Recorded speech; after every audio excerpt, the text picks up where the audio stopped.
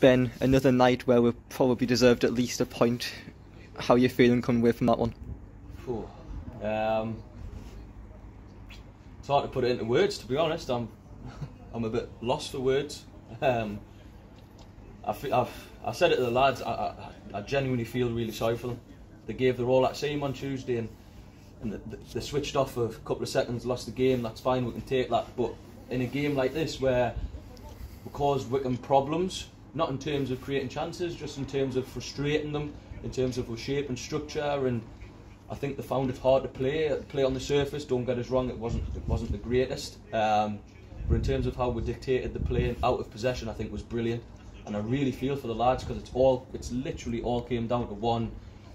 One decision. One decision from the referee. And again, totally out of our control what he gives. And I'm not going to. Not going to say too much I don't get told off. But you can ask a lot of people, and I think a lot of people, are, probably about 99% of people in this ground will agree that it was a definite mistake, definite error.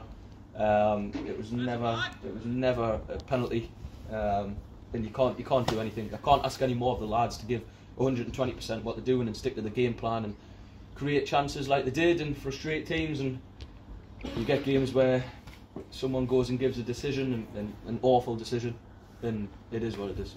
Moving on, we've got a bit of a break now for Christmas, but next Saturday we're away to Newcastle Benfield. What are you expecting from that one? Um, another expectation similar to today. I think every every game's got the same message. Really, it's going into and being open minded and thinking if we play our way and stay structured and get our shape right, frustrate teams, and, and see what the game brings. Hopefully, we'll get a, um, we'll get a decent run of decisions next game, and that might not cost us the game.